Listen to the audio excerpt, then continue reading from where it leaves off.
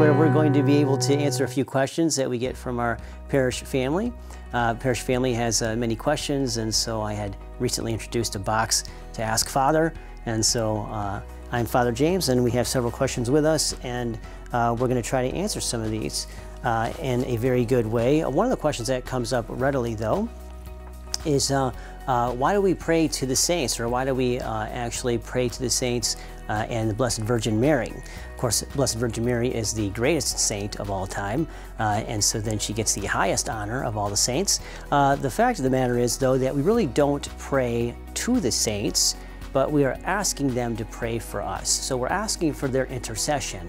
So we don't pray to them particularly, but pray actually comes from like an Old English word. Uh, if anyone has ever re uh, read any Shakespeare, uh, you know, uh, Hamlet or whatever, then uh, you'll find those words in there, prithee, prithee. It's like, pray thee, tell me. Like, I ask you to tell me. So uh, that's what's behind that praying to the saints phrase in particular. Uh, but uh, what we're actually doing is just asking the saints to pray for us. Why do we ask the saints to pray for us? Well, because uh, they're close to God. Uh, it's similar to when people come up to me uh, and, ask me uh, as a priest to pray for whatever intention they have. Uh, and so then uh, they are uh, then asking someone who is closer to God, at least they believe is closer to God, the priest. The priest should be closer to God than most people. We uh, indulge in our work always uh, about uh, God, the Word of God, and, etc. So we uh, are trying to be closest to God as possible.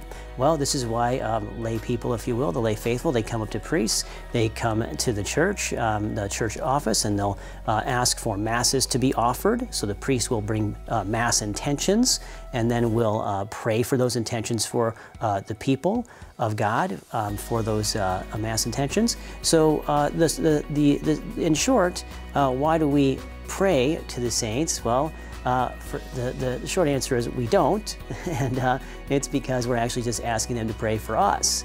Uh, we're not worshiping the saints, only God is worthy of worship, and that is He, uh, he whom we adore.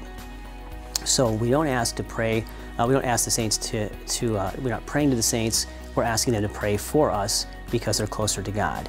And so then it's just like asking anyone else to pray for you. Have you ever asked anybody to pray for you for a particular intention. Could you pray for me? Could you pray for me? Probably most of us have. And so that's another way of just asking someone else who's alive and close to God, uh, like the saints, to pray for us.